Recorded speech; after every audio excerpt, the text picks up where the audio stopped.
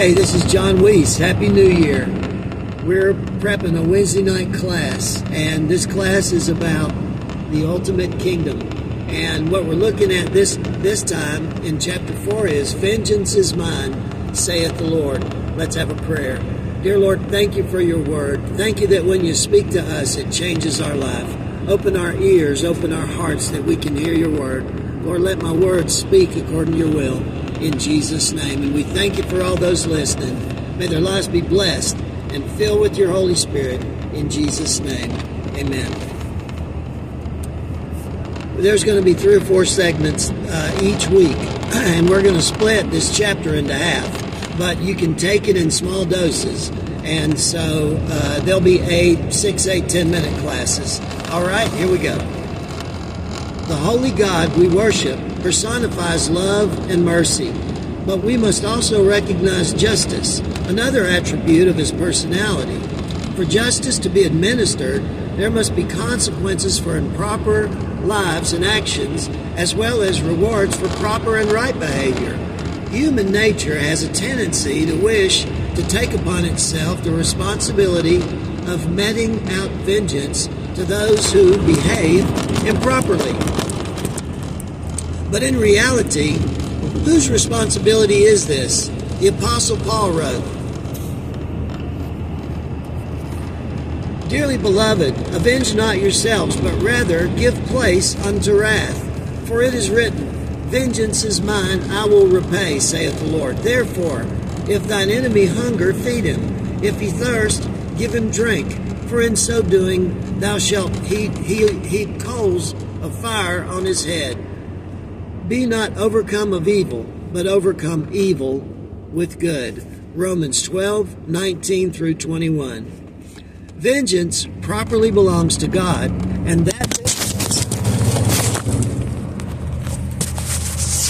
I guess I'll just hold this. Vengeance properly belongs to God, and the vengeance is another theme which is revealed to John in his revelation of Jesus Christ. How long, O Lord, holy and true, dost thou not judge and avenge our blood on them that dwell on the earth? We have come now to the seventh seal, Revelation 8, which is the answer to the cry of the saints. How long, O Lord? How long? By the way, my friend over here is driving. That's my buddy Will. We're heading out. For me, I'm looking for a piece of equipment that I need to use for work. So we're going to go see if this thing's going to work for us or not.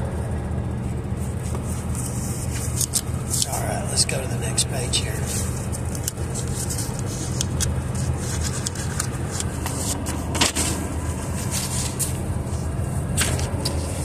And when he, or when Christ, has opened the seventh seal, there was silence in heaven.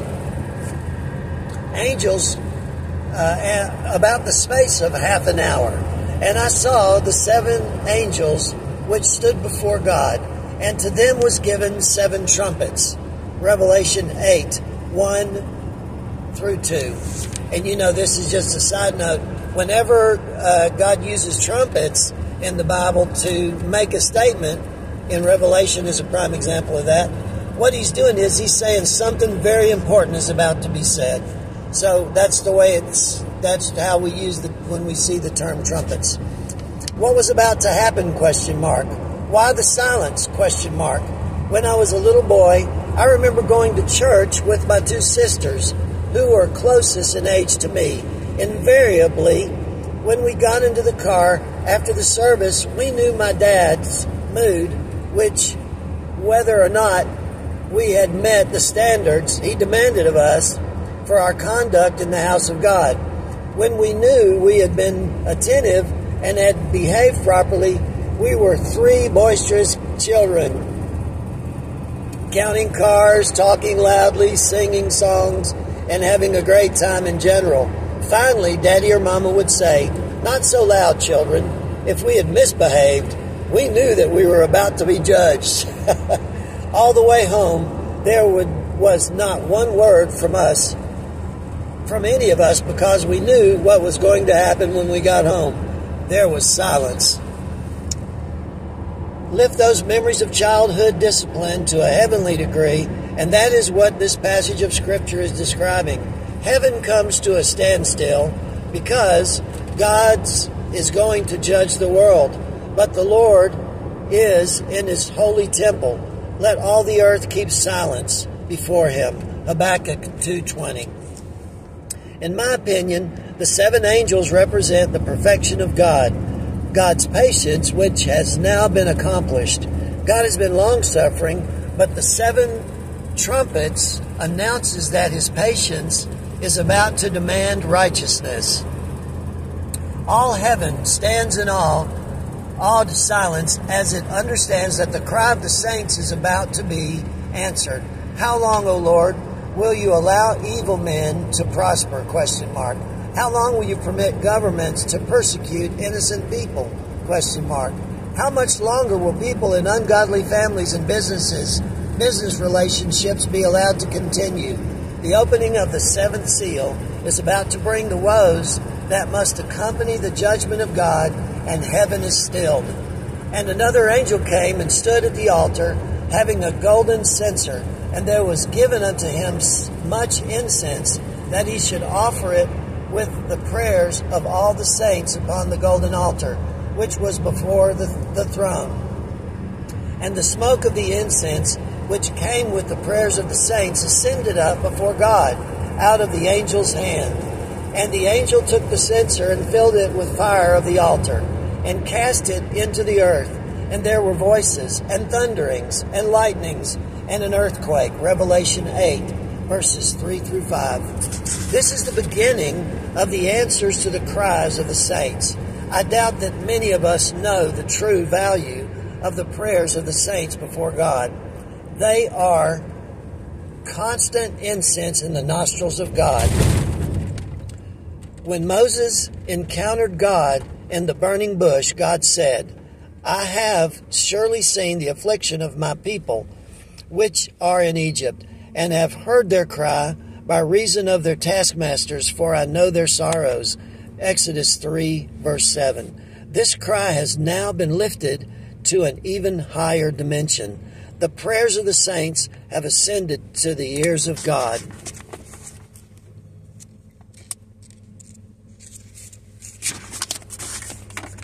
And God has said, Now it is time to avenge the cause of the righteous upon the earth. Picture the mighty angels standing before the throne of God, holding the censer from which arises the, the incense of every prayer ever prayed by a saint of God! Exclamation mark. Prayer, we must see, can never be an option for the child of God or for the church of Jesus Christ. In verse 5, John describes another angel in addition to the seven who herald the judgment of God. This angel filled the censer with fire, prayers, from the altar and cast it to the earth, signifying that the saints' prayers have now become judgment against the earth. This angel, I believe, represents the intercession of Jesus Christ himself in addition to the intercessory prayers of the saints. As the Holy Spirit reveals the purpose of John's revelation, I began to understand that judgment, like prophecy, is timeless. Many people who receive prophecy believe that it refers only to future events, but this is not so. Prophecy can be past, present, or future. Prophecy can even be God's way of bearing witness to something that has already taken place in someone's life.